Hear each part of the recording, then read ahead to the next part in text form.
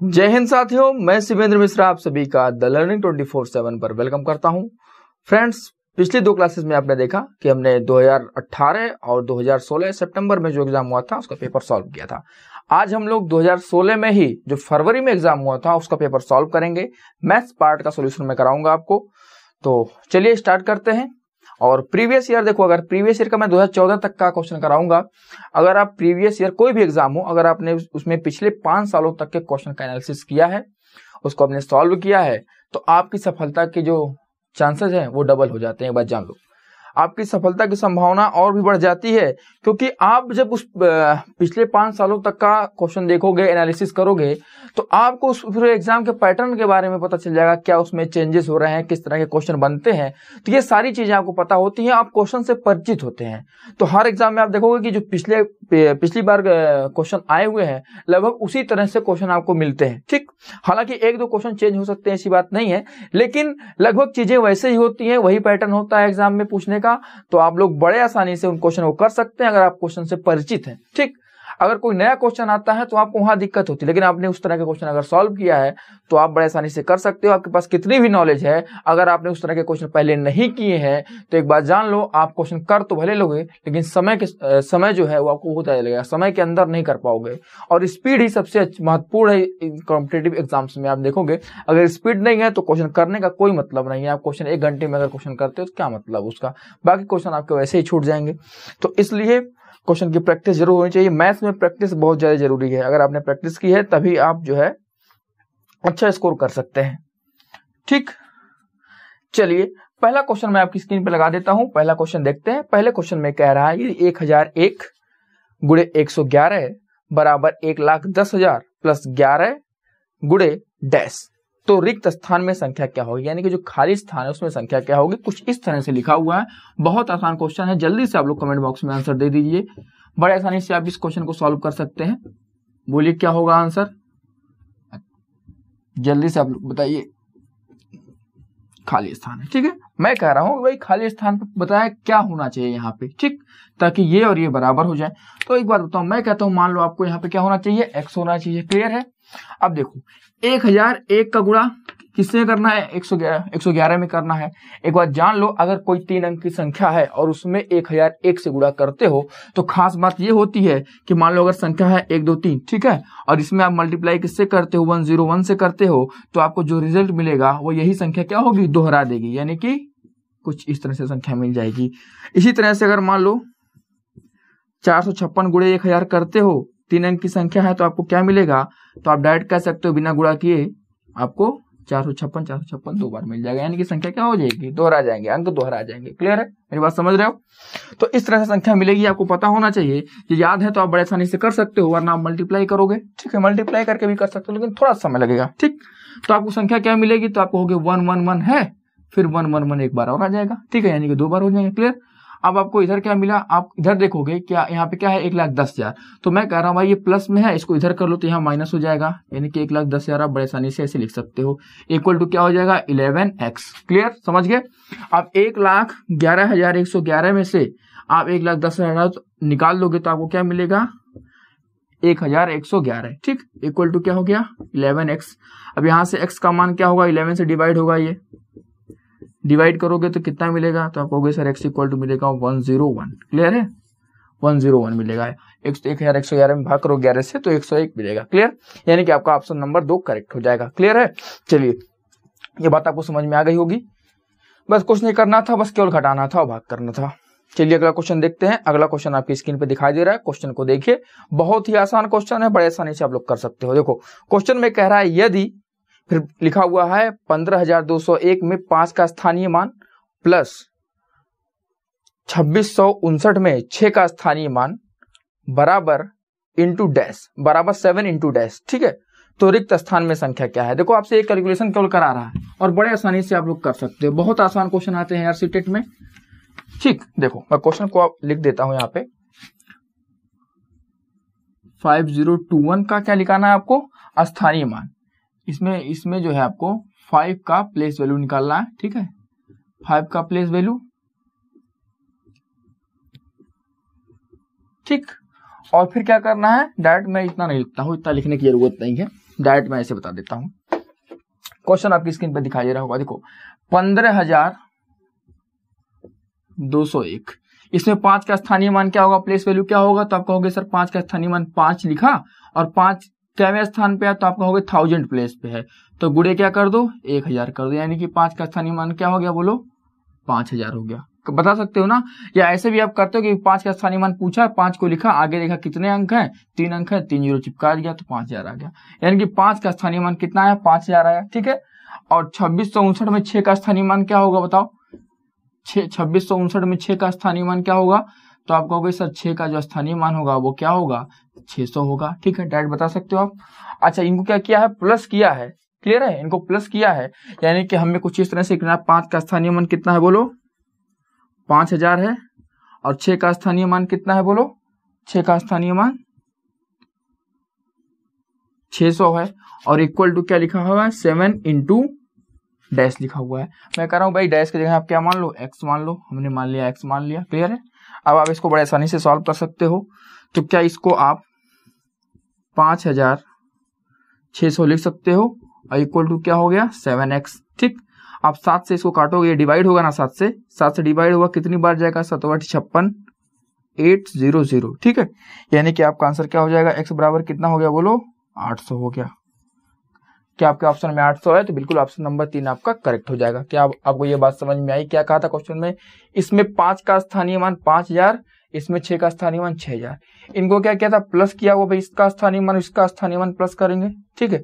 और equal to क्या था? सेवन इंटू डैश डैश के जगह आपको बताना था यहाँ पे खाली स्थान पे क्या होगा ठीक है? क्लियर आपने इसको जोड़ा छप्पन सौ मिला यहाँ पे सेवन एक्स सेवन से डिवाइड किया आठ सौ आपका आंसर आ गया फटाफट। चलिए अगला क्वेश्चन देखते हैं। बड़े आसानी से कर सकते हैं अगले क्वेश्चन को। और देखिए क्वेश्चन बहुत आसान है। क्वेश्चन में क्या कहा है? छत्तीस और अड़तालीस के सार्वधनात्मक गुणनखंडों का गुणनफल। छत्तीस और अड़तालीस के सार्वधनात्मक गुणनखंडों का गुणनफल बराबर नौ सौ निन्यानवे प्लस नाइन इंटू डैश तो रिक्त स्थान में रिक्त स्थान में संख्या होगी यानी कि जो डैश से खाली स्थान है, वहाँ पे संख्या क्या होगी? हमने मान लिया एक्स और अब ऐसा नहीं से हम आंसर कर सकते हैं। तो आइए, थोड़ा सा क्वेश्चन को समझो। क्वेश्चन में क्या कह रहा है? छत्तीस और अड़तालीस के सार्वधनात्मक गुणनखंड का गुणनफल। यानी कि छत्तीस के जितने गुणनफल गुणनखंड होते हैं और अड़तालीस के जितने गुणनखंड होते हैं, उनमें जो कॉमन है, ठीक है, उनको आपस में मल्टीप्लाई करना है, ठीक है, और उसके बराबर होगा वो किसके? नौ सौ निन्यानवे प्लस नाइन इंटू एक्स के। क्लियर है? समझ गए मेरी बात? क्वेश्चन में क्या कह रहा है? यानी कि हमें क्या करना है? पहले बताओ, हम छत्तीस का और अड़तालीस के फैक्टर लिखते हैं। ये बताओ छत्तीस किससे कटता है? बताओ छत्तीस किससे किससे कटता है? तो सबसे पहले तो एक से कटेगा, ठीक है? दो से कटेगा, तीन से कटेगा, चार से भी कटता है। और बताओ छह से कटता है, क्या आठ से कटता है? छत्तीस नहीं कटता, आठ के पहाड़े में छत्तीस नहीं आता, ठीक? क्या बारह से कटता है? बिल्कुल कटता है। कटता है ना? अच्छा और किससे कटता है? अट्ठारह से कटता है, और छत्तीस खुद से भी कटता है, क्लियर? अड़तालीस की बात करें, एक से कटेगा, दो से कटेगा, तीन से भी कटता है। सोलह तीन अड़तालीस होता है, चार से भी कटता है, छह से कटता है, नहीं कटता है, ठीक है? छह से नहीं कटता, छह से कटेगा ना? छह अठी अड़तालीस, बिल्कुल छह से भी कटता है, और किससे कटता है? आठ से भी कटता है, बारह से भी कटता है, और सोलह से भी कटता है, और अड़तालीस खुद से भी कटता है, क्लियर? अब कह रहा है इसमें कि सार्वधनात्मक गुणनखंडों का गुणनफल। सार्वधनात्मक गुणनखंड यानी कि जो इसमें क्या हो? दोनों के गुणनखंड हो। यानी कि दोनों में कॉमन कौन कौन से फैक्टर हैं? तो आप कहोगे, सर, एक कॉमन है। तो एक को ले या ना ले कोई मतलब नहीं है, चलो ले लेते हैं। वन दो भी क्या है आपका? कॉमन है। तीन भी क्या है आपका? बोलो कॉमन है। चार भी कॉमन है। छ भी कॉमन है। और क्या कॉमन है बोलो? बारह भी कॉमन है। ठीक है? बारह भी कॉमन है। क्लियर और बाकी कुछ कॉमन नहीं है। अब मुझे एक बात बताओ, यानी कि गुड़े दो गुड़े तीन गुड़े चार गुड़े छ और गुड़े बारह। क्लियर है? समझ गए? ये जो आएगा, ये बराबर क्या है? बोलो, नौ सौ निन्यानवे और प्लस नाइन हमने खाली स्थान की जगह पे क्या मान लिया? हमने मान लिया एक्स क्लियर मान सकते हैं एक्स मान लिया? अब आप सॉल्व कर सकते हो क्या आपको ये बात समझ में आई। भाई, सार गुणनखंड का मतलब क्या कह रहा है? देखो, मैं इंग्लिश में भी क्वेश्चन पढ़ दे रहा हूँ। कह रहा है the product of the common positive factor of 36 and 48 clear है? इक्वल टू 999 प्लस 9x ठीक? क्लियर समझ गए? अब बताओ, इसको आप आसानी से कर सकते हो कि नहीं कर सकते हो? अब देखो, अब या तो सब आप ऐसे मल्टीप्लाई करो, नहीं तो अगर आपको थोड़ा सा क्यूब वगैरह के बारे में जानकारी है, मैंने कहा है तीस तक क्यूब याद कर लो। तो या तो आप मल्टीप्लाई कर दो, सब मल्टीप्लाई में एक्सपर्ट हो। और नहीं तो आपको पता है क्या है? ये और ये मिल के बारह बनाएँगे, और ये तीनों मिलकर क्या बनाएँगे? बारह बनाएँगे।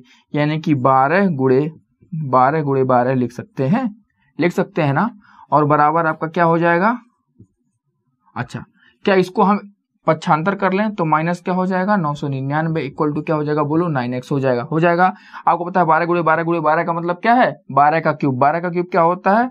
सत्रह सौ अट्ठाईस होता है। वरना मल्टीप्लाई करके देखो, दो, तीन, छह, चौक, चौबीस, ठीक है? फिर छह में गुड़ा करो, फिर बारह में गुड़ा करो, या तो ऐसे थोड़ा सा स्मार्ट बनो। क्लियर है? अब माइनस नौ सौ निन्यानवे करना है आपको। इक्वल टू क्या है? नाइन एक्स है। बारह सौ अट्ठाईस में से नौ सौ निन्यानवे घटा कितना बचेगा? सात सौ उनतीस बचेगा इक्वल टू क्या हो गया? एक्स क्या आप यहाँ से डायरेक्ट लिख सकते हो? मैं इधर लिख देता हूँ। थोड़ा सा नीचे दिखेगा नहीं। आपको क्या करना एक्स बराबर क्या हो जाएगा? सात सौ उनतीस बटा नौ, यानी कि क्या मिलेगा? एक्स बराबर इक्यासी मिलेगा। क्लियर है? सात सौ उनतीस भी क्या है? नौ का क्यूब है। ठीक। समझ गए? ये बात आपको समझ में आ गई होगी, यानी कि हमारा आंसर क्या आ जाएगा? इक्यासी आ जाएगा। ठीक है? क्लियर है? यानी कि रिक्त स्थान पर कौन सी संख्या होगी? इक्यासी होगा। ठीक? ऑप्शन नंबर चार हमारा करेक्ट हो जाएगा। चलिए अगला क्वेश्चन देखते हैं। देखो, मैं बड़ा आराम से पढ़ा रहा हूँ आपको। अगर स्पीड तेज हो तो भी बता दो, और धीमा है तो भी बता दो। ठीक? अगला क्वेश्चन देखते हैं। क्वेश्चन में कह रहा है, छब्बीस हज़ार छह सौ उनहत्तर उन्यासी को छब्बीस हज़ार छह सौ उन्यासी को उनतालीस से भाग देने पर तथा उनतीस हज़ार चार सौ पाँच को चौतीस से भाग देने पर प्राप्त शेष फलों के अंतर को 18 से भाग दिया जाता है तो शेष फल क्या होगा? देखो एग्जामिनर आपसे केवल कैलकुलेशन करना चाह रहा है, वो चेक करना चाह रहा है कि आपको गुड़ा भाग आता है कि नहीं आता है। समझ रहे हो ना? वरना आपने बिहार में प्राइमरी स्कूलों का हाल देखा है। कैसे कैसे टीचर पढ़ा रहे हैं? ठीक है? चलिए आइए देखते हैं, इस क्वेश्चन को देखिए बड़ा आसान है। क्या कह रहा है? छब्बीस हज़ार छ सौ उनहत्तर। क्लियर है इसमें किससे भाग देना है? उनतालीस से भाग देना है। ठीक। ठीक है? और फिर क्या कहा है? उनतीस हज़ार चार सौ पाँच में किससे भाग देना है? चौतीस से भाग देना है। क्लियर है? और जो यहाँ पे रिमाइंडर बचेगा, मान लो यहाँ पे रिमाइंडर बच गया आर टू और यहाँ पे रिमाइंडर बच गया आर वन ठीक है? रिमाइंडर बच गया। अब इन दोनों का अंतर लेना है और उस अंतर में, यानी कि इनका डिफरेंस लेना है, ठीक है? और उस डिफरेंस में भाग किससे करना है? अट्ठारह से भाग करना है और तब जो रिमाइंडर आएगा वो बताना है आपको, ठीक है? तो आप क्या करो? उनतालीस से में भाग करो, चौतीस से में भाग करो शेष निकालो। बड़े आसानी से आप निकाल सकते हो, भाग कर सकते हो ना? ठीक, और भाग करते हैं, देखो कैसे भाग करना है। देखो, उनतालीस से भाग करोगे, क्या कितनी बार जाएगा? छब्बीस तक कटेगा यानी तीन अंक लेना है। कितनी बार जाएगा आपको पता है? उनतालीस का द, दस बार गुड़ा करोगे तीन सौ नब्बे मिलेगा। पाँच बार करोगे तो कितना मिलेगा? तो आपको मिलेगा एक सौ पंचानवे मिलेगा। क्या एक सौ पंचानवे से आगे जा सकते हैं? बिल्कुल जा सकते हैं। यानी कि छाछठ और एक सौ पंचानवे में से पाँच और वहाँ पे लोगे तो आप देखो दो सौ छाछठ, एक सौ पंचानवे अंतर कितने का है? तो आप कहोगे सर अंतर जो है इकहत्तर का है। यानी कि दो बार और पढ़ा जा सकता है, यानी कि सात बार पढ़ा जाएगा। समझ रहे हो कैसे सोचना है? तो उनतालीस का सात बार पढ़ा जाना। भाई हमको पाँच बार निकाल सकते हो। उनतालीस, पच्चीस कितना होगा? एक सौ पंचानवे होगा। अब एक सौ पंचानवे, दो सौ छाछठ में अंतर कितने का है? आप देखोगे इकहत्तर का अंतर है। यानी कि उनतालीस दुना, नहीं, उनतालीस दुना सात बार नहीं जाएगा। छह बार जाएगा। ठीक है? क्योंकि ज़्यादा हो जाएगा। उनतालीस दुना आपका हो जाएगा। अठहत्तर और इकहत्तर का ही अंतर यानी कि छह बार ही जाएगा। ठीक है? छह बार जाएगा तो छह बार आएगा, आप छह मल्टीप्लाई छह नवा कितना होता है? चौवन। क्षेत्र का अट्ठारह अट्ठारह पाँच कितना होता है? तेईस होता है। यानी कि कितना हो जाएगा? दो सौ चौतीस। अब सॉल्व करोगे, यहाँ पे दो बचेगा, यहाँ पे कितना बचेगा? तीन बचेगा। बत्तीस आ गया। क्या उनतालीस से बत्तीस में भाग जाएगा? नहीं जाएगा। सात उतार लो। अब उनतालीस से डिवाइड करोगे, कितनी बार जा सकता है? तो आपको पता है, उनतालीस टाइम कितना होता है? तीन सौ नब्बे। ठीक? अच्छा नौ बार जाएँगे, पढ़ा पढ़ सकते हैं। नौ नौ बार में नहीं कटेगा, यानी कि आठ बार में कटेगा। आठ बार में काट दो, आठ, नौ, बहत्तर का दो बचा कितना? सात, आठ, त्रिक, चौबीस चौबीस, सात कितना होता? है इकतीस। तीन सौ बारह हो गया, ठीक है? तीन सौ बारह हो गया। या आप इसको चालीस मान के भी कर सकते हो, वहाँ से भी चरवटी बत्तीस यानी कि आठ बार जाएगा, तीन सौ बीस आएगा तो भाई एक कम है। आठ गुड़े एक कर दो, माइनस कर दो, आठ किस तरह से भी कर सकते हो। सात में से दो गया, कितना बचेगा? बोलो पाँच, दो में से एक गया, एक बचेगा, पंद्रह आ गया यहाँ पे। अब बताओ क्या बचा है? नौ नौ को उतार लिया। कितनी बार जाएगा? तो आपको पता है, उनतालीस चार का पढ़ा अगर चालीस को, इसको मान लें तो चालीस, यानी चालीस चौक के होता है एक सौ साठ, ये उनतालीस है, यानी कि एक सौ साठ से कम आएगा, यानी कि चार बार पढ़ाया जा सकता है। समझ रहे हो? ठीक है, ये गुड़ा करना आपको आना चाहिए, ऐसे आपको सोचना है। तो आप पढ़ा, जब इसको उनतालीस से भाग करोगे तो कितनी बार जाएगा? तो आपको पता है, जाएगा एक सौ छप्पन आएगा, ठीक है? वही चार से मल्टीप्लाई चार, नौ, छत्तीस के छह, चार, तीन, बारह, और बारह चार चार नौ, छत्तीस छह बारह तीन पंद्रह। ठीक है? कितना आ गया रिमाइंडर यहाँ पे तीन आ गया। क्लियर यहाँ से इस कितना आया? तीन आया। अब चौंतीस से इसमें भाग करते हैं तो कितनी बार जाएगा? तो एक बार बताओ, चौंतीस दहाई में कितना होता है? तीन सौ चालीस। ठीक है? नौ बार पढ़ना पड़ेंगे। तो कितनी बार जाएगा? तो भी ज़्यादा हो जाएगा। ठीक है? यानी कि आठ बार जाएगा। ठीक है? आठ चौक बत्तीस के दो, आठ तरीक चौबीस। चौबीस तीन कितना होता है? सत्ताईस, दो सौ बहत्तर। दो में चार में से दो गया, दो बचा, नौ में से सात गया, दो बचा। बाईस आ गया। क्लियर है? ज़ीरो उतार लो। कितनी बार जाएगा पहाड़ा? तो आपको पता है चौंतीस पच्चे कितना होता है? एक सौ सत्तर। और चौंतीस दूना होता है अड़सठ, यानी कि चौंतीस सत्ते कितना निकाल सकते हैं? तो आप कहोगे एक सौ अड़तीस आ जाएगा हमारा आंसर। तो यानी कि हम दो सौ अड़तीस आ जाएगा, यानी कि ज़्यादा हो जाएगा। तो कितनी बार जाएगा? छह बार जाएगा। छह चौक चौबीस के चार हो गया, छेत्री का अट्ठारह। अट्ठारह दो कितना होता है? बीस, यानी कि दो सौ चार। क्लियर है? मेरी बात समझ पा रहे हो? अरे, चौंतीस पचे एक सौ सत्तर। और चौंतीस छक्का कैसे निकालना भाई? चौंतीस और जोड़ दो। तो दो सौ, चार आएगा कि नहीं आएगा? बिल्कुल आएगा। अब सॉल्व करोगे, कितना मिला? सोलह मिला। पाँच और उतार लो। अब चौंतीस का मल्टीप्लाई करो। चौंतीस पच्चीस कितना होता है? एक सौ सत्तर होता है। लेकिन ये तो ज़्यादा हो जाएगा, यानी कि चौंतीस चौका। ठीक है, चौंतीस चौका कितना होगा? चार चौका सोलह का छह होगा। चार तीन बारह बारह एक, तेरह। एक सौ छत्तीस हो गया। सॉल्व करोगे पंद्रह में से छह गया, नौ बचा। पाँच में से तीन गया, दो बचा। यानी कि उनतीस यहाँ पे क्या आ गया? शेष आ गया। यहाँ से कितना आ गया? तीन आ गया। इन दोनों का डिफरेंस लोगों, कितना मिलेगा डिफरेंस छब्बीस मिलेगा डिफरेंस ठीक है डिफरेंस कितना मिलेगा भाई? डिफरेंस निकालना है हमें। छब्बीस मिल गया। और डिफरेंस भाग किससे करना है? तो आपको डिवाइड करना है, सर अट्ठारह से डिवाइड करने के लिए बोला रिमाइंडर पूछ रहा है। तो डिवाइड करोगे तो रिमाइंडर कितना आएगा? अट्ठारह से कितनी बार भाग जाएगा? एक बार जाएगा। रिमाइंडर कितना बचेगा? आठ बचेगा। यानी कि शेष कितना बचा? आठ बचा। और यही हमारा क्या हो जाएगा? आंसर हो जाएगा। यानी कि ऑप्शन नंबर क्या हो जाएगा? चार हमारा करेक्ट आंसर हो जाएगा। उम्मीद है आपको ये बात समझ में आई होगी। हमने क्या किया? भाई, इसमें भाग किया। देखो, तुम्हारे सामने मैं भाग करके दिखा दिया। मैं चाहता तो स्किप भी कर सकता था डायरेक्ट रिमाइंडर लेकिन भाग कैसे करना है, ये सीखना है, ठीक है? भाई, उनतालीस से आपको भाग करना है। भाई, बड़ी संख्या है। आप सीटेट का एग्ज़ाम दे रहे हो थोड़ा, नहीं तो मैं इसको एक और तरीका बताता भाग करने का, ठीक है? लेकिन इतना आपके लिए सही है। यही आपको समझ में आएँगे। आगे चीज़ें और आपके लिए टफ हो जाएँगी, ठीक है? तो हमने भाग किया। ये आपसे कैलकुलेशन कराना चाह रहा था एग्जामिनर कि आपको भाग देने आता है या नहीं आता है, ठीक? ठीक है? चलिए, अगला क्वेश्चन देखते हैं। तो ऑप्शन नंबर क्या हो जाएगा? चार आपका करेक्ट हो जाएगा। आठ आंसर आएगा ना? हाँ। चलिए, अगला क्वेश्चन देखते हैं। अगला क्वेश्चन आपकी स्क्रीन पर दिखाई दे रहा है। क्वेश्चन देखो। क्वेश्चन में कह रहा है कि छत्तीस चौवन और साठ का सबसे छोटा सार गुड़ज डिवाइड बाई नाइन्टी बराबर है। यानी कि छत्तीस चौवन और साठ का सबसे छोटा सार गुड़ज, यानी कि ये क्या कर रहा है? एलसीएम की बात कर रहा है। देखो इंग्लिश में लिखा हुआ the smallest common multiple of thirty six, fifty five fifty four and sixty. तो वही स्मॉलेस्ट कॉमन मल्टीपल या लोवेस्ट कॉमन मल्टीपल, ठीक है? एलसीएम जिसे कहते हो। क्लियर वही चीज़ है। अच्छा कभी कभी हिंदी बड़ी खतरनाक दे दी जाती है। सार और गुड़ज, बताओ। तो थोड़ा सा इंग्लिश पढ़ लिया करो, वहाँ से क्लियर हो जाएगा। ठीक है? पेपर आपको भेज दूँगा, आप लोग देख सकते हो पीडीएफ में क्लास स्टार्ट होने से पहले भी आपको मैं सेंड कर दूँगा टेलीग्राम चैनल पे। टेलीग्राम चैनल पे आप लोग जुड़ जाओ, जो लोग नहीं जुड़े हैं, वो लोग इस नंबर पर मैसेज कर दें। सीटेड लिखकर मैसेज करना, ऐसे हेलो, हाय मत लिखना। समझ में नहीं आता कौन किस बैच के लिए, क्योंकि लेखपाल के भी स्टूडेंट है के स्टूडेंट तो पता नहीं चलता कौन किस लिए मैसेज किया है, ठीक? तो आप लोग जो है इस पर मैसेज कर दीजिएगा, सीटेड ज़रूर लिख दीजिएगा। तो आपको उस ग्रुप की लिंक सेंड कर दी जाएगी और आपको भेज दिया जाएगा। उस मतलब लिंक भेज दिया जाएगा तो आप ऐड हो जाना, ठीक है? चलो तो इस क्वेश्चन में क्या कर रहा है हमसे? भाई, छत्तीस और क्या है? चौवन है और साठ है। इसका क्या लेना है? एलसीएम लेना है। ठीक है? यानी कि हमें क्या करना है? इसका एल्सियम लेना है और उसको डिवाइड किससे करना है? 90 से करना है, ठीक है? इसका एल्सियम क्या होगा? छत्तीस चौवन साठ का एल्सियम आप निकाल सकते हो। भाई, छत्तीस को कैसे तोड़ सकते हो? बोलो। छत्तीस को कैसे तोड़ सकते हो? एक तो भाग विधि से आप निकाल सकते हो एल्सियम एक तरीका क्या है? तो एक तरीका ये भी जान लो। छत्तीस को कैसे लिखते हो? तो क्या बताओ? नौ चौक छत्तीस होता है यार। चार नवा छत्तीस होता है ना? बोलो। चार नवा छत्तीस होता है।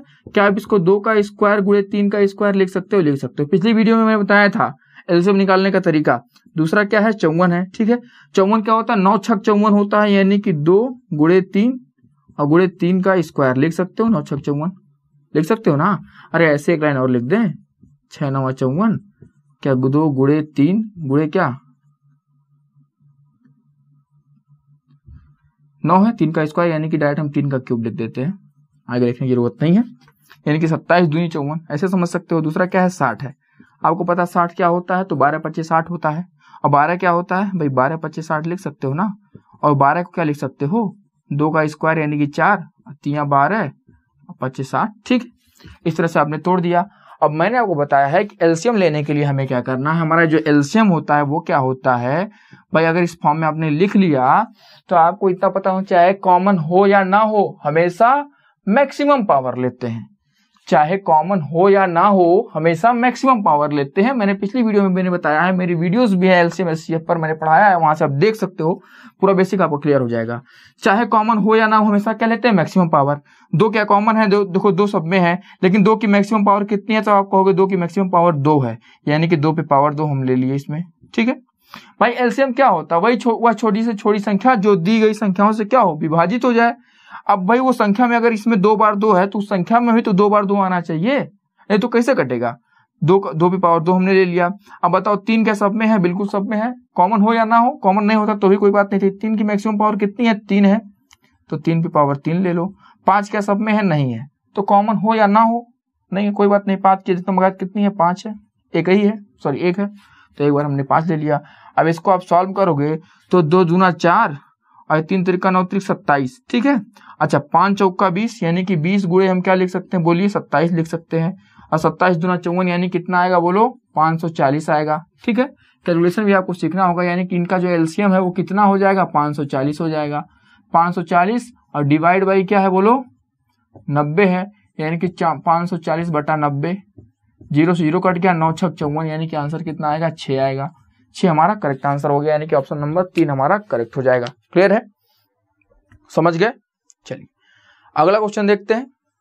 अगर स्पीड स्लो हो तो भी बता देना आप लोग। ठीक है? मैं कोशिश कर रहा हूँ कि आपको सारी चीज़ें समझ में आए। और एक तो भाग विधि था भाग विधि आप सबको पता है, इसको एलसीएम निकालने का। चलिए, अगला क्वेश्चन देखते हैं। अगला क्वेश्चन आपकी स्क्रीन पे दिखाई दे रहा है क्वेश्चन को देखो। क्वेश्चन में क्या कह रहा है? क्वेश्चन में कह रहा है कि सोनू के पास पाँच दर्जन टॉफियाँ हैं। पाँच दर्जन, यानी कि एक दर्जन में होता क्या बारह तो पाँच दर्जन यानी कि साठ साठ टॉफियाँ हैं बारह पाँच दर्जन टॉफियाँ हैं। उसने इनका एक तिहाई, एक बटा तीन भाग अमिता को, दो बटा पाँच भाग अनिल को और एक बटा बारह भाग हमीदा को दे दिया। सोनू के पास बची टॉफियों की संख्या है। देखो, सोनू के पास टॉफियाँ कितनी है? तो ये है भाई सोनू। ठीक है? इसके पास टॉफियाँ कितनी है? पाँच दर्जन। ठीक है? पाँच दर्जन टॉफी है। क्लियर है? पाँच दर्जन टॉफी है। आपको पता है, एक दर्जन में कितना होता है? बारह होता है। तो पाँच दर्जन में कितना होगा तो आप कहोगे गुड़े बारह कर दो। कितना हो जाएगा? साठ हो जाएगा। पाँच दर्जन में कितनी टॉफी साठ टॉफी। ठीक है? यानी कि कितनी टॉफी हो गई? बोलो, साठ टॉफी हो गई। क्लियर? अच्छा उसने क्या किया है? किसको किसको बांटा है? अमिता को। ठीक है? उसने अमिता को बांटा है टॉफी। अमिता को दिया है। अनिल को दिया है। और किसे दिया है? हमीदा को दिया है, ठीक है? हमीदा को दिया है इसने टॉफी। अमिता को कितना दिया है? तो कुल साठ का कितना दिया है? तो एक बटा तीन दिया है हमीदा को। अनिल को कितना दिया है? साठ का दो बटा पाँच भाग दिया है। और हमीदा को कितना दिया है? हमीदा को कितना दिया है? तो साठ का एक बटा बारह भाग दिया है। काटो, कितना होगा? बीस बचेगा यहाँ से यहाँ से कितना बचेगा? पाँच बढ़ेगा साठ, बारह दोनों चौबीस, यहाँ से आ गया चौबीस। यहाँ से आ गया बीस और यहाँ से आ गया बारह पच्चे साठ। यानी कि कितना आ गया पाँच। सबको प्लस कर लो। कितना आएगा? चौबीस, बीस, चौवालीस। पाँच कितना होता है? उनचास होता है। क्लियर है? उनचास होता है। यानी कि उनचास टॉफी तो उसने बांट दी। पूछा, क्या है? सोनू के पास बची टॉफियों की संख्या? सोनू के पास कितनी टॉफी थी? साठ टॉफी थी। कितना खर्च किया? उनचास खर्च किया। बता कितना? ग्यारह। ये हमारा क्या हो जाएगा? करेक्ट आंसर हो जाएगा। यानी कि ऑप्शन नंबर ए आपका करेक्ट हो गया। ठीक? इन सारे क्वेश्चन को आप विदाउट पेन भी सॉल्व कर सकते हो। पेन उठाने की भी आवश्यकता नहीं है, ठीक? गणित से भागना नहीं है, गणित से लड़ना है, ठीक? गणित से नहीं लड़ोगे, लेकिन ध्यान देना एग्ज़ाम में मत लड़ना गणित से गणित से घर पे लड़ना, ठीक है? अगर दुश्मन मज़बूत है तो उसके इलाके में मत लड़ो उससे उससे घर पे लड़ो, अपने इलाके में लड़ो। तो घर पे लड़ना और एग्ज़ाम में जाके जो क्वेश्चन आएगा कर देना क्वेश्चन से लड़ना मत, वरना पटक देगा क्वेश्चन ठीक है? चलो, अगला क्वेश्चन देखते हैं। अगला क्वेश्चन क्या कह रहा? है अगला क्वेश्चन कह रहा है कि यदि 112 इकाई प्लस बारह हज़ार इक्वल टू ग्यारह हज़ार बारह प्लस डैश और दहाई। ठीक है? दहाई, ठीक। यानी कि कुछ ऐसे लिखा हुआ है और आपको बताना है रिक्त स्थान में क्या होगा। वही देखो, रिक्त स्थान यानी कि एक्स मानना है, ठीक है? बारह, क्या लिखा? एक सौ बारह इकाई लिखा हुआ है। एक सौ बारह इकाई यानी कि वंस ठीक है? प्लस बारह हज़ार यानी कि थाउज़ेंड ठीक है? और इक्वल टू क्या लिखा हुआ है? One one zero one two अच्छा इसके साथ कुछ है, कुछ नहीं है। और डैश फिर लिखा हुआ है दहाई क्लियर है? दहाई यानी कि टेंस हमने मान लिया भाई यहाँ पे एक्स एक्स दहाई ठीक। अब बताओ, इकाई मानी कि वंश तो यानी कि गुड़े एक कर दो प्लस बारह हज़ार है, हज़ार का मतलब क्या होता है? यहाँ पे एक हज़ार से गुड़ा कर दो। ठीक है? और इक्वल टू यहाँ पे क्या है? तो खाली यहाँ पे कुछ नहीं लिखा हुआ है। एक्स दहाई यानी कि एक्स गुड़े क्या करना है? दस करना है। दहाई का मतलब एक ज़ीरो लगा दो, हज़ार का मतलब तीन ज़ीरो लगा दो, इकाई का मतलब कुछ नहीं, केवल एक से गुड़ा कर दो। ठीक? समझ गए? ऐसे भी कर सकते हो। कर लिया इतना आपने। अब बताओ, यहाँ से क्या मिला? 112 यहाँ से क्या मिला? बोलो, बारह हज़ार मिला। क्लियर है? और ये कितना था? ग्यारह हज़ार बारह। तो इसको इधर ट्रांसफ़र करोगे तो क्या प्लस है? यहाँ पे हो जाएगा माइनस और इधर क्या मिलेगा? Ten x. क्लियर है? समझ गए? अब मुझे बताओ कि ये बारह हज़ार है और ये ग्यारह हज़ार बारह है और ये क्या है? एक सौ बारह। अच्छा इसको आप जोड़ोगे तो कितना मिलेगा बोलो? बारह हज़ार। एक सौ बारह माइनस ग्यारह हज़ार बारह। क्लियर है? दस एक्स। अब बताओ, इसमें इसमें से इसको माइनस करोगे तो दो में से दो गया कितना बचा? ज़ीरो। एक में से एक गया ज़ीरो। एक में से ज़ीरो गया एक बचेगा। क्लियर है? बचेगा ना? अब बताओ, दो में से एक गया कितना बचेगा? एक, यानी कि कितना आ गया आपका आंसर? ग्यारह सौ। इक्वल टू कितना है? दस। ठीक? क्लियर है? ग्यारह सौ आपका आंसर आ गया। टेन एक्स अब एक्स इक्वल टू क्या होगा? दस से डिवाइड करोगे, कितना आएगा? बोलो एक सौ दस आएगा। तो ये हमारा क्या हो जाएगा? आंसर हो जाएगा। यानी कि ऑप्शन नंबर सी आपका करेक्ट हो जाएगा।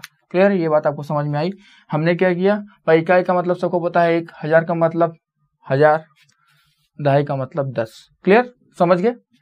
और हमने इस तरह से सॉल्व करके आपका आंसर निकाल दिया। क्लियर है? ये पच्छांतर करना आपको पता होगा। चलिए अगला क्वेश्चन देखते हैं। अगला क्वेश्चन आप देखिए। क्वेश्चन में कह रहा है, एक ही माप कि तेईस बोतलों में इक्यावन लीटर और 750 मिलीलीटर दूध भरा जाता है। ऐसी 16 बोतलों में दूध की मात्रा है। ठीक है? तो पहले तो भाई हम देख लेते हैं कि एक बोतल में कितना दूध आता है। फिर 16 बोतलों का निकाल देंगे।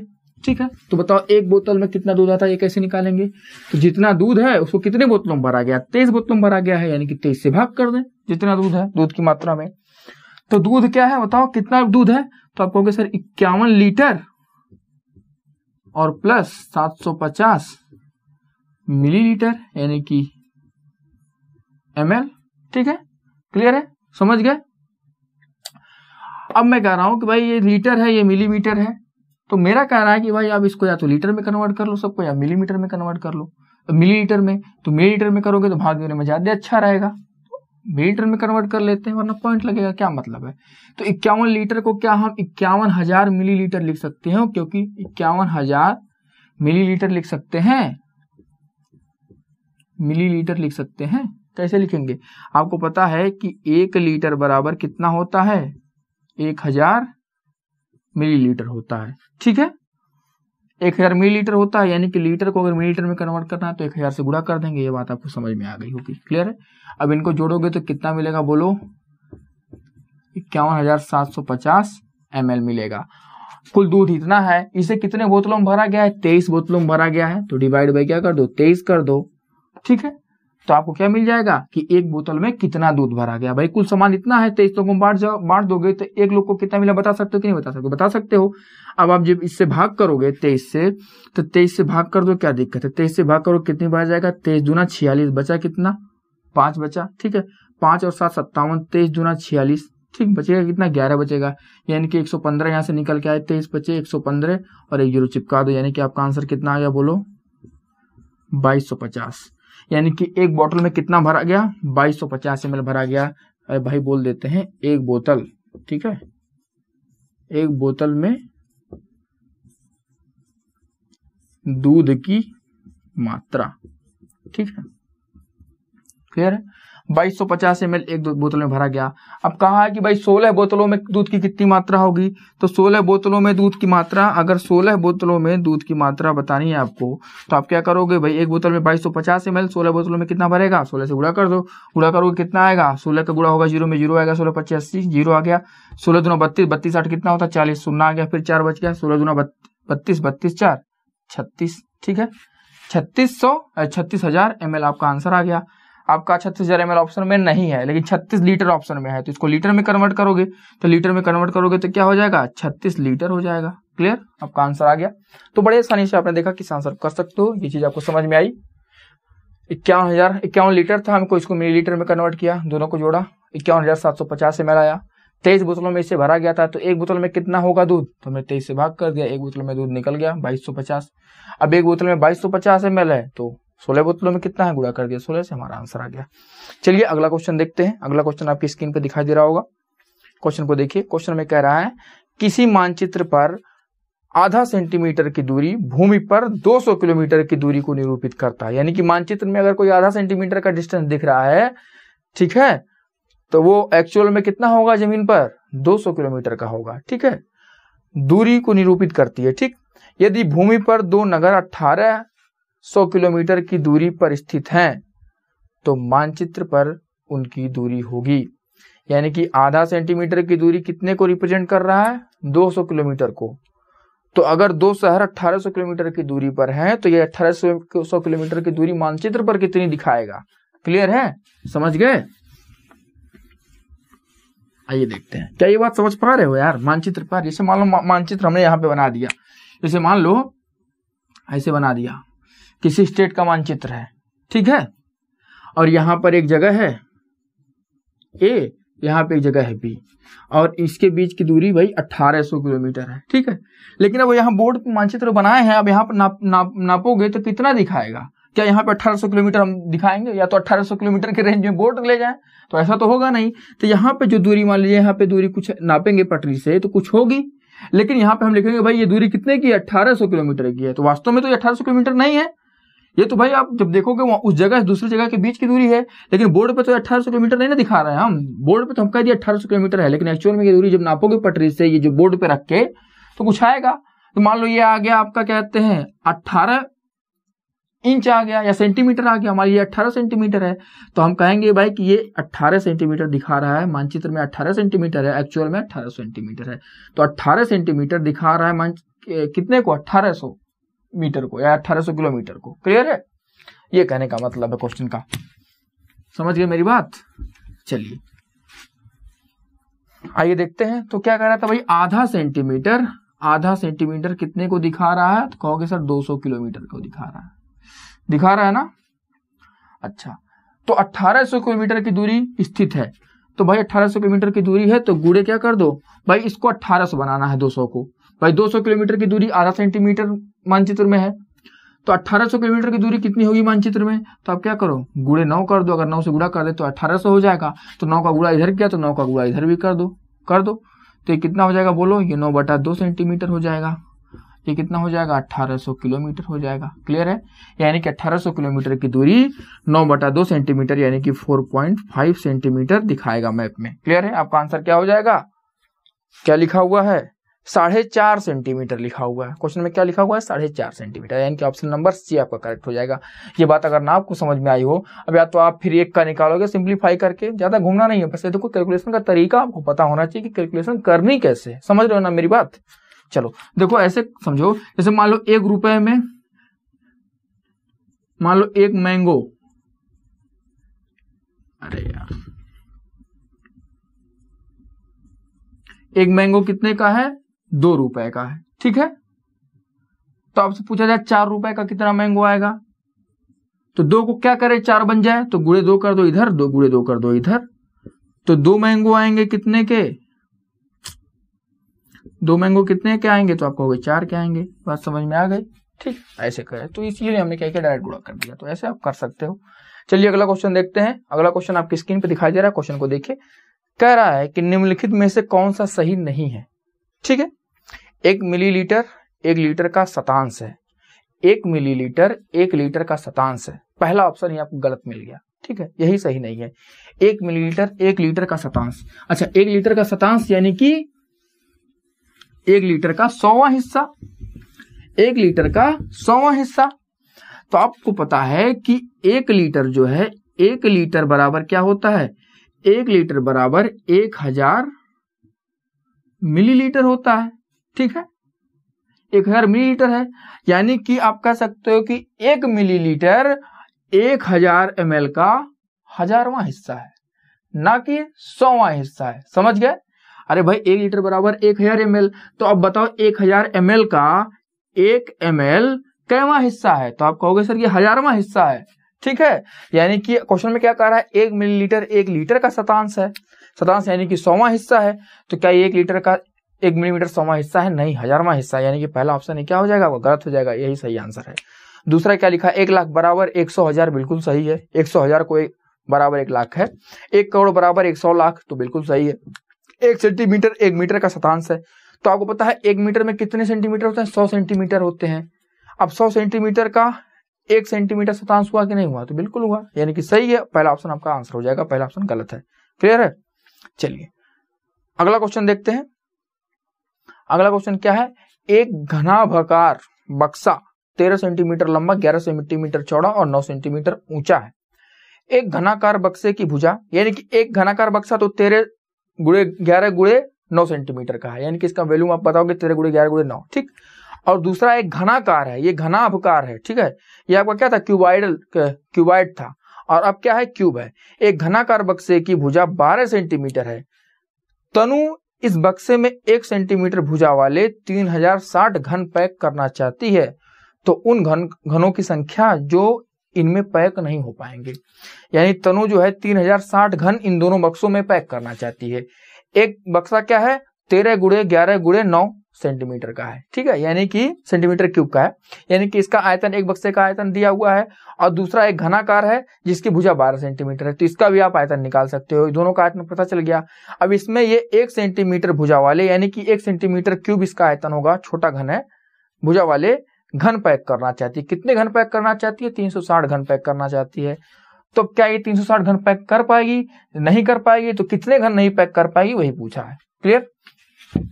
यानी कि जो हमारा क्यूबॉइड है, पहला बक्सा, ठीक है? जो पहला बक्सा है, उसका वॉल्यूम, क्यूबॉइड का वॉल्यूम वी मान लेते हैं। कितना है? तो आप कहोगे, सर, कितना इसका लंबाई, चौड़ाई, ऊंचाई का आपस में गुड़ा कर दोगे तो वॉल्यूम निकल जाएगा। यानी कि तेरह गुड़े कितना है? बोलो, ग्यारह। और गुड़े कितना है? नौ है। ठीक और क्यूब का वॉल्यूम कितना है? क्यूब का वॉल्यूम हमने मान लिया वी टू है। ये कितना है? तो 12 सेंटीमीटर भुजा है। भाई 12 सेंटीमीटर भुजा है। ए क्यूब होता है, भुजा का क्यूब होता है ना? क्यूब का वॉल्यूम। और भुजा कितनी है? 12 है। यानी कि 12 का क्यूब क्या हो जाएगा? इसका भुजा, इसका वॉल्यूम हो जाएगा। 12 का क्यूब कितना होता है बोलो? सत्रह क्लियर है? समझ गए? अच्छा कहा है कि एक सेंटीमीटर भुजा वाले 360 घन पैक करना चाहती है, ठीक है? तो जो घन पैक करना है, यानी कि जो छोटा क्यूब है, जो छोटा क्यूब है, उसका वॉल्यूम क्या होगा? छोटे क्यूब का वॉल्यूम क्या होगा? छोटे क्यूब का वॉल्यूम क्या होगा बोलो?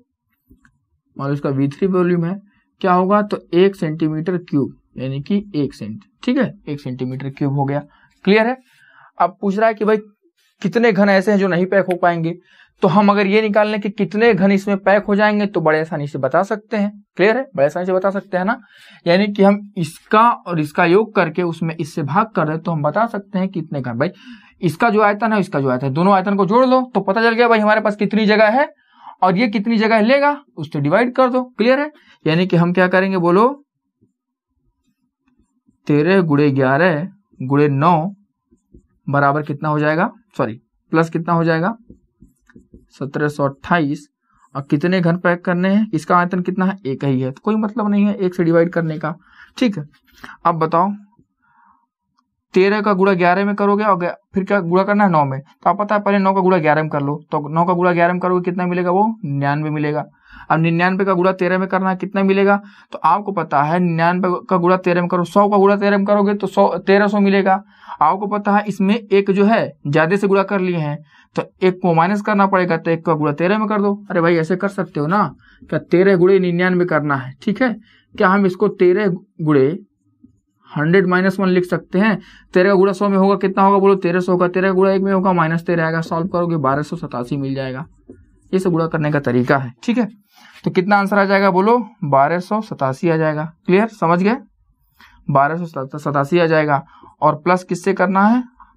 सत्ताईस सौ अट्ठाईस, ठीक?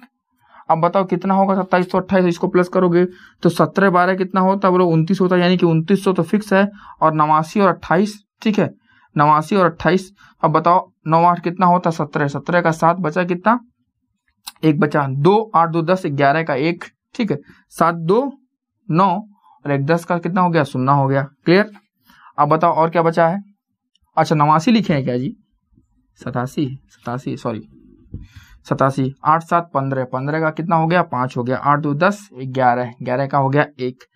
सात दो नौ, एक दस। सुन्ना। बचा कितना? एक बचा। एक एक, दो, एक, तीन तीन तीन हज़ार पंद्रह। यानी कि आप तीन हज़ार पंद्रह घन पैक कर सकते हो। क्लियर है? तीन हज़ार पंद्रह घन पैक कर सकते हो। कितना पैक करना चाहती थी तनु? तनु पैक करना चाहती थी तीन हज़ार साठ घन। आप पैक कितना किए? तीन हज़ार पंद्रह पैक किए, ठीक है? यानी कितने घन नहीं पैक कर पाओगे? तो आप माइनस कर दो, कितना बचेगा? पैंतालीस बचेगा। यानी कि हमारा पैंतालीस घन ऐसे होंगे जो नहीं पैक होंगे तीन हज़ार साठ में से। ठीक है क्योंकि आयतन कितने के लिए है? पंद्रह तीन हज़ार पंद्रह घरों के लिए है। भाई हमने क्यूबाइड का जो आयतन था वो निकाल दिया क्यूब का आयतन जो था वो निकाल दिया। क्यूबाइड का आयतन कितना आया हमारा? बारह सौ सतासी आया ना? और ये क्यूब का आयतन था यही दो बक्से थे हमारे। भाई एक बक्सा क्यूबाइड था एक क्यूब था ये दो बक्से थे। इन्होंने इन, इनमें कितने कितनी जगह है हमने निकाल दिया ठीक है? अब छोटा क्यूब जो पैक करना था उसका आयतन हमने निकाल दिया। और उसके आयतन से इन दोनों के आयतन को जोड़ करके उसमें भाग दे दिया। तो भाग दिया भाई एक से भाग करना था तो पता है कोई मतलब नहीं है। और इसमें हमने आंसर निकाल दिया। क्लियर है? समझ गए ये बात? यानी कि पैंतालीस घन पहला आंसर हमारा करेक्ट हो जाएगा। चलिए अगला क्वेश्चन देखते हैं। क्वेश्चन में क्या कह रहा है? किसी आयत की लंबाई तथा चौड़ाई क्रमशः 48 सेंटीमीटर और 21 सेंटीमीटर है। किसी वर्ग की भुजा इस आयत की लंबाई का दो तिहाई है। इनके क्षेत्रफलों का योग है।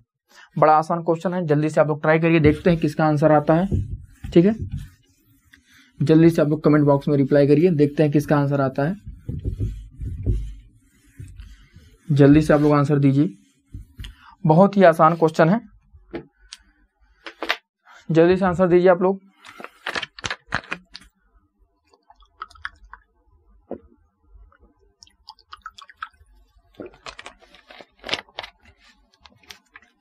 देखिए, किसी आयत की लंबाई, लेंथ कितनी है आयत की? अड़तालीस है। ब्रेथ कितनी है, चौड़ाई कितनी है तो आप कहोगे सर 21 सेंटीमीटर है। क्लियर है? कह रहा है किसी वर्ग की भुजा, ये आयत के लिए था। ये आयत के लिए ये बात थी। किसी वर्ग की भुजा, अब वर्ग की बात करते हैं, स्क्वायर की बात करते हैं, ये रेक्टेंगल था, ये स्क्वायर की बात करते हैं।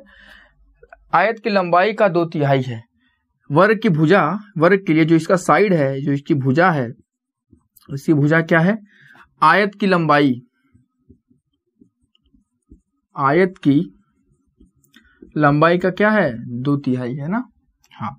आयत की लंबाई कितनी है? अड़तालीस है। अड़तालीस का दो तिहाई, तीन से भाग करोगे कितना आएगा? सोलह। यानी कि आंसर कितना है हमारा? बत्तीस।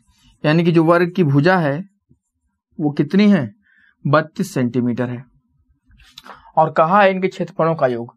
तो इसका अगर हम क्षेत्रफल निकालें, इसका क्षेत्रफल निकालेंगे तो क्या होगा? यल गुड़े बी, यानी कि लंबाई गुड़े चौड़ाई, यानी कि अड़तालीस गुड़े कितना हो जाएगा बोलो? इक्कीस हो जाएगा। ठीक है? अड़तालीस गुड़े इक्कीस हो जाएगा।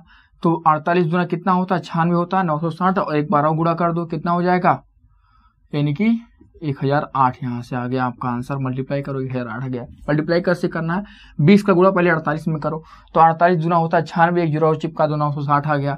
फिर अड़तालीस का गुड़ा एक में कर दो, अड़तालीस आ गया, नौ सौ साठ में अड़तालीस जोड़ोगे, एक हज़ार आठ आ गया। एक हज़ार सेंटीमीटर स्क्वायर। ठीक है, इसका क्षेत्रफल आ गया। अब इसके क्षेत्रफल की बात करते हैं तो जो यहाँ पे क्षेत्रफल होता है, वो क्या होता है? वर्ग का क्षेत्रफल क्या होता है? बोलो।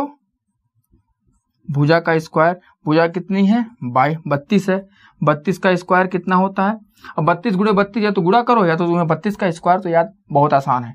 एक हज़ार चौबीस होता है बत्तीस का स्क्वायर एक हज़ार चौबीस सेंटीमीटर स्क्वायर क्लियर है? आपसे पूछा इनका योग क्या होगा? अब एक हज़ार आठ और एक हज़ार चौबीस को नहीं जोड़ सकते आप। क्या आप जोड़ सकते हैं एक हज़ार आठ और एक हज़ार चौबीस को? तो बिल्कुल आपका आंसर कितना हो जाएगा बोलो? एक हज़ार बत्तीस हो जाएगा, एक हज़ार बत्तीस सेंटीमीटर स्क्वायर। इनके आयता, इनके क्षेत्रफलों का योग हो जाएगा। क्लियर है? ये बात आपको समझ में आ गई होगी। हमने क्या किया? आयत का क्षेत्रफल निकाला, फिर वर्ग का क्षेत्रफल निकाला। वर्ग की भुजा कितनी थी? आयत की लंबाई की दो तिहाई थी, यहाँ से वर्ग की भुजा आ गई, वर्ग का हमने क्षेत्रफल निकाला और दोनों को जोड़ दिया। अगला क्वेश्चन देखते हैं। अगला क्वेश्चन बहुत आसान है। बड़े आसानी से आप कर सकते हो। देखो, आपने देखा कि पिछले क्वेश्चन में भी कुछ इसी पैटर्न से क्वेश्चन पिछले पेपर में भी आया था। कह रहा है, गुणनफल सात सौ बहत्तर गुड़े तीन सौ छत्तीस गुड़े पच्चीस, बराबर है। एक सप्ताह में सेकेंडों की संख्या, सात सप्ताह में मिनटों की संख्या, साठ दिनों में घंटों की संख्या, पाँच दिनों में सेकंडों की संख्या। क्लियर है? आप देखो, इसको करना कैसे है? अगर इस क्वेश्चन में आपने दिमाग नहीं लगाया तो गुड़ा करने लगोगे, या जैसे गुड़ा करने लगोगे, सारा मेहनत बेकार। ठीक है?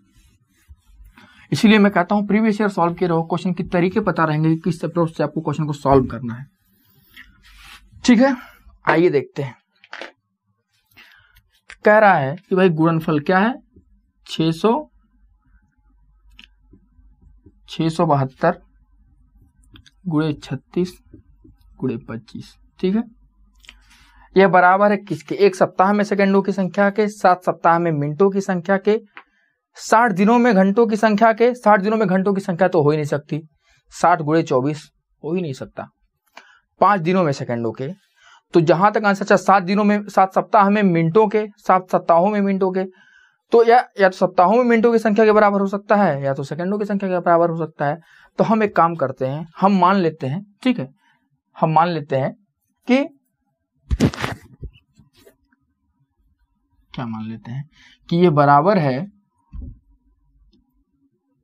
एक्स दिनों में सेकंडों की संख्या के। हम मान लेते हैं चेक करने का मैं तरीका बता रहा हूँ, वरना और भी तरीके हैं।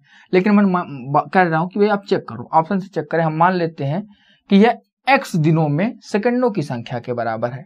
ठीक है? एक्स दिनों में सेकंडों की संख्या के बराबर है। ठीक है? तो बताओ, आपको पता है, अगर एक दिन में सेकंड की बात करें, एक दिन में कितने सेकंड होंगे बात करें तो पहले बताओ, एक दिन में घंटे कितने होते हैं? चौबीस घंटे होते हैं। अच्छा एक घंटे में मिनटों की संख्या की बात करें तो आप कहोगे, सर, गुड़े साठ कर दो। एक दिन में इतने मिनट होते हैं, ठीक है? भाई, चौबीस घंटे हो गए, इनको मिनट में कन्वर्ट कर दिया। अच्छा सेकंड की बात करें तो आप कहोगे, सर, एक दिन में इतने सेकंड होते हैं। यानी कि एक दिन में कितने सेकंड होंगे? चौबीस गुड़े साठ गुड़े साठ। यानी कि इतने सेकंड होंगे। तो हमने मान लिया, भाई अच्छा मान लो आपसे पूछा जाए एक्स दिन में कितने सेकंड होंगे? तो आप कहोगे, सर एक्स गुड़े, एक दिन में इतने सेकंड होते तो एक्स दिन में एक्स गुड़े, चौबीस गुड़े साठ गुड़े साठ। तो हमने मान लिया कि ये जो है एक्स दिनों में सेकंडों की संख्या के बराबर है। तो हमने क्या लिख दिया यहाँ पे? एक्स गुड़े चौबीस गुड़े साठ गुड़े साठ रख दिया, ठीक है? यहाँ से एक्स बराबर क्या हो जाएगा बोलो? तो छह सौ बहत्तर। भाई, हम ये पूरा यहाँ पे इंटू में है ना तो ये जाएगा पूरा डिवाइड हो जाएगा। तो अब एक्स बराबर हम लोग लिखें, कितना हो जाएगा? छह सौ बहत्तर गुड़े कितना हो जाएगा? छत्तीस गुड़े पच्चीस। और डिवाइड बाई चौबीस गुड़े साठ गुड़े साठ, ठीक है? काटोगे इसको तो काटो, पाँच से काटो, पचवा पच्चीस, और पाँच बार हम साठ हो गया, फिर पाँच से काटो, कितना आएगा? यहाँ बारह आएगा, और बारह से काटोगे तो कितना जाएगा बोलो? बारह तीन छत्तीस, और तीन से काटोगे तो कितना हो जाएगा? आठ हो जाएगा। आठ से काटो, कितना बचेगा? आठ आठ है चौसठ, कितना बचेगा? यहाँ पे चौसठ यानी कि तीन बत्तीस, आठ चौक बत्तीस, चौरासी हो गया। अब बारह से काटोगे तो कितना आएगा? बारह सतह चौरासी, यानी कि एक्स का मान कितना आ गया बोलो? सात आ गया। क्लियर है? एक्स का मान कितना आ गया? सात आ गया। ठीक है? यानी कि सात दिनों में जो सेकेंडों की संख्या होगी, यहाँ पे मैं सेकेंड्स लिख देता हूँ। सेकंड्स सात दिनों में जो सेकेंडों की संख्या होगी, वो इनको मल्टीप्लाई करने पर आएगी। ठीक है, ये हमने चेक किया है, यहाँ प्रॉपर तरीका नहीं है। इसको हमने क्या किया? भाई, इस तरीके से चेक किया। अगर एक्स का मान कुछ और आता, और ऑप्शन में वो मान नहीं होता तो फिर हम कैसे करते? मान लो आपने यहाँ से निकाला कि सात दिनों में सेकेंडों की जो संख्या होगी हाँ वही क्या होगा? इसका गुणनफल होगा। यानी कि ऑप्शन नंबर ए में क्या लिखा है? एक सप्ताह में सेकंडों की संख्या, यानी कि ऑप्शन नंबर ए आपका क्या हो जाएगा? करेक्ट हो जाएगा पहला ऑप्शन एक सप्ताह, यानी कि सात दिन बराबर एक सप्ताह होता है, एक सप्ताह में जो सेकंडों की संख्या, वही होगी, हमारा आंसर हो जाएगा। मान लो आंसर कुछ और आ जाता। जो ऑप्शन में नहीं होता तो क्या करते? तो अब यहाँ पे इसको मिनट रखते या कुछ और रख के चेक करते। ठीक है? समझ गए? तो ये भी एक तरीका है। इस तरीके से मुझे लगता है इस क्वेश्चन को करना चाहिए। हालाँकि और भी तरीके हैं वो ज़्यादा इसके ज़्यादा लंबा पड़ जाएगा। तो इसलिए हम इस तरीके से इस क्वेश्चन को सॉल्व कर सकते हैं। ठीक है? चलिए, ठीक? मान लीजिए आप मान लेते कि x दिनों में घंटों की संख्या के बराबर होगा तो x दिनों में घंटों की संख्या यानी कि x गुड़े क्या लिखते आप? 24 लिखते। तो डिवाइड करते तो और बड़ा आंसर आता जो कि ऑप्शन में नहीं मिलता।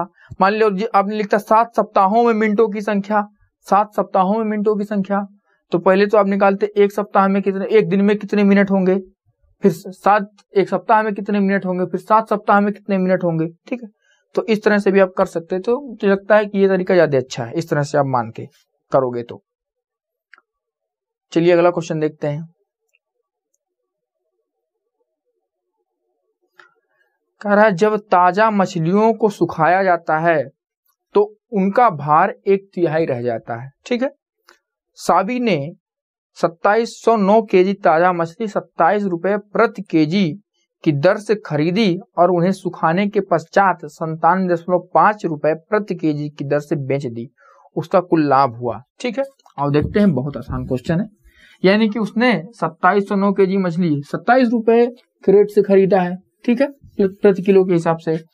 यानी कि इसके अगर हम कॉस्ट प्राइस की बात करें सीपी की बात करें ठीक है कॉस्ट प्राइस की बात करें, इसका कॉस्ट कितना पड़ा तो आप कहोगे भाई ये सत्ताईस सौ नौ किलो। बोलो, सत्ताईस सौ नौ किलो मछली खरीदी है और कितने रुपए के हिसाब से खरीदी है? सत्ताईस रुपए प्रति किलो के हिसाब से तो इसका ये सीपी हो गया, ठीक है। और जब इसमें कहा है कि जब इसको सुखाया जाता है तो मछली का वेट कितना हो जाता है? एक तिहाई कम हो जाता है। यानी कि अगर इसके एसपी की बात करें तो एक बात बताओ मुझे सत्ताईस सौ नौ का मछली का वज़न कितना बचेगा? सत्ताईस सौ नौ किलो लाई थी, लेकिन सुखाने के बाद कितना हो जाता है? एक तिहाई हो जाता है। क्लियर है? यानी कि एक तिहाई हो जाएगा। और इसको किस रेट से बेचा है? तो इसने संतानवे दशमलव पाँच रुपए प्रति किलो के रेट से बेचा है। ये आपका कॉस्ट प्राइस है, ये आपका सेलिंग प्राइस एसपी हो गया। फ़ायदा पूछा है। तो सेलिंग प्राइस यानी कि विक्रय मूल्य में से क्रय मूल्य घटा दो। यानी कि प्रॉफिट की अगर हम बात करें प्रॉफिट की बात करें प्रॉफिट कब होता है? एसपी माइनस सीपी यानी कि लाभ बराबर विक्रय मूल्य माइनस क्रय मूल्य। तो एसपी कितना है बोलो? एसपी कितना है? तो तीन से भाग कर दो यार इसको, तीन से भाग कर दो। तीन से भाग करो, कितनी बार जाएगा? तो तीन नवा सत्ताईस, ज़ीरो तीन, नौ सौ तीन, ठीक है? यानी कि हम लोग इसको ऐसे लिख सकते हैं, नौ सौ तीन गुड़े संतानवे दशमलव पाँच, ठीक है? तो एसपी कितना है? नौ सौ तीन गुड़े संतानवे दशमलव पाँच और सीपी कितना है? सत्ताईस सौ नौ गुड़े सत्ताईस।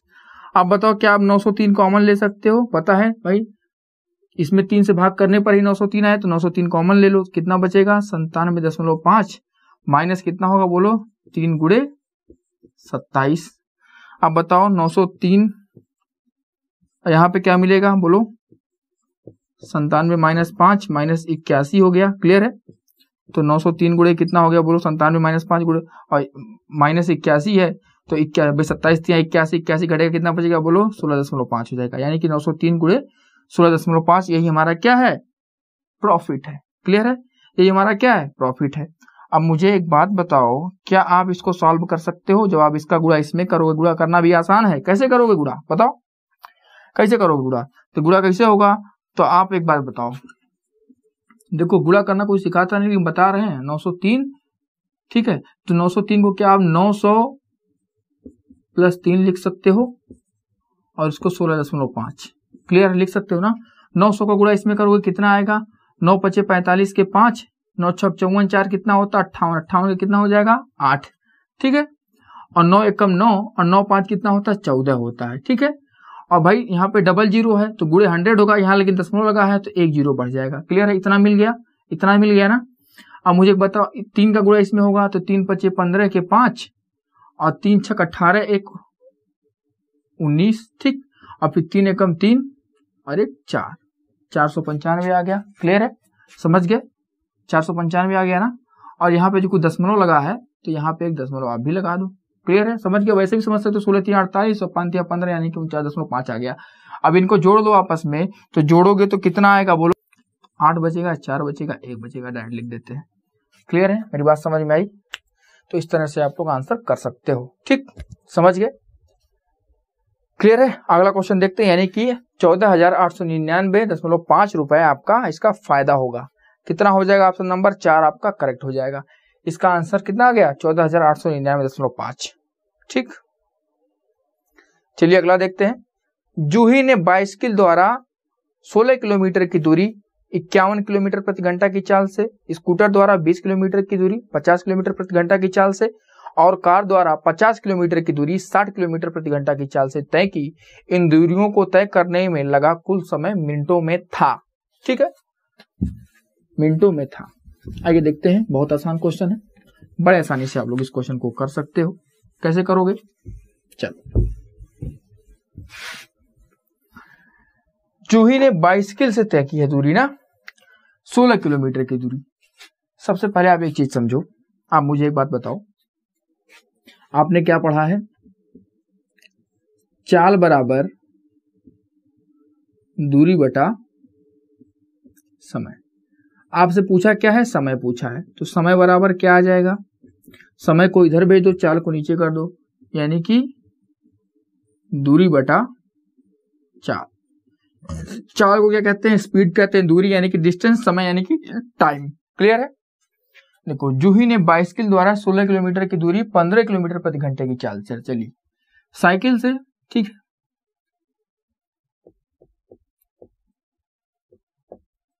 साइकिल से दूरी चली है, फिर स्कूटर से दूरी चली है जूही। ठीक है? बताओ। साधारण बदलने की क्या ज़रूरत थी? स्कूटर से ही चलना चाहिए था या कार से ही चलना चाहिए था या साइकिल से ही चलना चाहिए था? फालतू में क्वेश्चन को घुमा दिया। और फिर कितना चली है? पचास किलोमीटर प्रति घंटे की चाल से कार द्वारा। कार से भी चली है, ठीक है? चलो। साइकिल से कितना चली है? कितने किलोमीटर की दूरी चली है? सोलह किलोमीटर की दूरी चली है, ठीक है? अच्छा हमें क्या निकालना है? समय निकालना है। इसका समय निकालना है, इसका समय निकालना है, इसका समय निकालना है। तीनों को जोड़ दे, आंसर आ जाएगा। समय निकालना है, दूरी कितनी है? सोलह किलोमीटर। चाल कितनी है? पंद्रह किलोमीटर। डिवाइड कर दो। स्कूटर से कितनी दूरी चली? बोलो, स्कूटर से कितनी दूरी चली? बीस किलोमीटर की दूरी चली। कितने किलोमीटर प्रति घंटा की चाल से? पचास किलोमीटर से। डिवाइड कर दिया। कार से कितनी दूरी चली? तो कार से दूरी चली है कितना? पचास किलोमीटर। स्पीड क्या थी? साठ किलोमीटर प्रति घंटा की थी। अच्छा ये किलोमीटर में है, ये प्रति घंटा है, घंटे में है डिवाइड करोगे आपको आंसर मिलेगा घंटे में, समय जो आएगा घंटे में आएगा, ठीक है? समय जो आएगा वो किसमें आएगा? घंटे में आएगा। तो समय को हमें क्या करना है? मिनट में कन्वर्ट करना है। तो गुड़े क्या कर दो? साठ कर दो। अट्ठारह बटा पाँच पाँच बटा अठारह वाला कंसेप्ट यहाँ नहीं लगेगा। वो स्पीड को कन्वर्ट करने के लिए होता है। यहाँ पे हमें क्या करना है? घंटे को मिनट में कन्वर्ट करना है। क्योंकि जब इसमें इसमें इसमें ये क्या है? किलोमीटर में है, ये क्या है? घंटे में। डिवाइड करोगे तो आपका जो समय आएगा वो घंटे में आएगा। सॉरी ये किलोमीटर प्रति घंटे में है, ये किलोमीटर में है। जब डिवाइड करोगे तो आपको जो आंसर आएगा वो मिनट में आएगा। ठीक है? तो घंटे में आएगा। तो इसको हम मिनट में बना लेंगे। तो गुड़े साठ कर दो। ठीक है? मिनट में कन्वर्ट कर लो गुड़े साठ कर दो गुड़े साठ कर दो। समझ गए? क्लियर है? समझ गए ना? अब बताओ, पंद्रह से काटो, कितना आएगा? चार आएगा। पचास से कटेगा, नहीं कटेगा। कैसे काटेंगे? आप इस ज़ीरो से, इस ज़ीरो को काट दो, पाँच से काटो, कितना आएगा? बारह और साठ से साठ कट गया। यानी कि सोलह चौका चौसठ मिनट तो यहाँ से आ गए आपके। ठीक है? यहाँ से कितने आ गए बोलो? यहाँ से आ गए आपके चौबीस मिनट। यहाँ से आ गए चौबीस मिनट और यहाँ से कितने आ गए? पचास मिनट। ठीक है? पचास मिनट आ गए। क्लियर? अब इनको जोड़ लो तो चौसठ, चौबीस होता है अठासी और अठासी पचास कितना होता है? एक सौ अड़तीस। इनको प्लस कर दो। सबको प्लस कर दो। ठीक है? कितना आ गया? एक सौ अड़तीस मिनट। ये आपका आंसर हो जाएगा। ठीक है? अगर ये बात नहीं समझ में आई साठ से क्यों गुड़ा किए हैं तो आप एक देखो। सोलह क्या था? किलोमीटर था। पंद्रह क्या थी? स्पीड थी। यानी कि एक किलोमीटर प्रति घंटा थी। ठीक है? किलोमीटर प्रति घंटा थी। क्लियर? अब जब आप इसको डिवाइड करोगे तो आपको पता है कि जो हमारा आंसर आएगा, वो सोलह बटा पंद्रह घंटा आएगा, समय। अब सोलह बटा पंद्रह घंटा जब समय आया तो इसको मिनट में कन्वर्ट करने के लिए गुड़े हमने साठ कर दिया। क्लियर है? समझ गया बस यही काम किया गया है। चलिए अगला क्वेश्चन देखते हैं।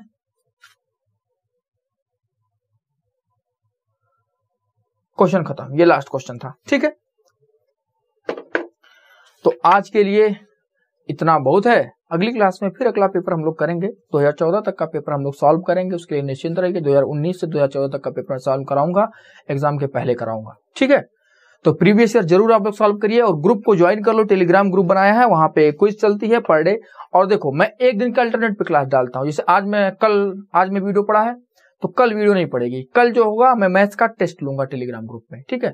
मैं टेस्ट लूँगा, फिर परसों वीडियो पड़ेगी ठीक है? फिर नर्सों टेस्ट होगा, उसके बाद फिर ऐसे। ठीक है? समझ गया? यानी कि एक दिन क्लास होगी वीडियो क्लास और एक दिन टेलीग्राम ग्रुप में टेस्ट होगा।